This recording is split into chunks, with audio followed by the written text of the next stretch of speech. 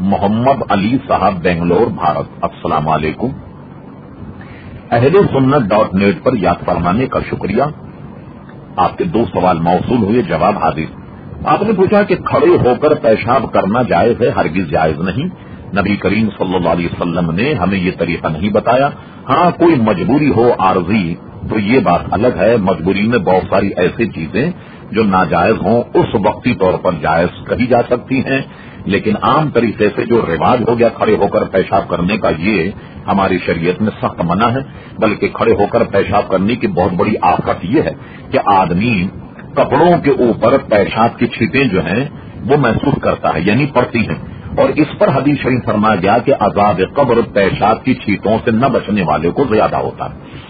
لہذا اس سے بچا جائے دوسرا آپ نے پوچھا کیا حرم شریف میں کسی اور کی چپل پہنی جا سکتی ہے؟ جہاں یہ تعین کرنا مشکل ہوتا ہے کہ کون سی چپل کس کی ہے۔ آپ دوسری کی چپل تو آپ ہرگز نہ پہنیں، بلکہ اس کے تعین کرنے میں آپ کو پریشانی ہوتی ہے۔ اس کا آسان طریقہ یہ ہے کہ آپ اپنے ساتھ کوئی رنگین کپڑے کی کوئی تھیلی ساتھ لے جائیں اور اپنی چپلوں کو آپ بالکل اپنی تھیلی میں ڈال کر کے الگ رکھ لیں۔ نماز پڑھ کے جب آپ نکلیں تو تمام چپلوں میں آپ کی چپل کپڑے کی تھیلی میں ہونے کی وجہ سے ممتاز ہوگی۔ لہذا آپ اس گناہ سے بچ جائیں گے، لیکن کسی اور کی چپل استعمال نہ کی جائے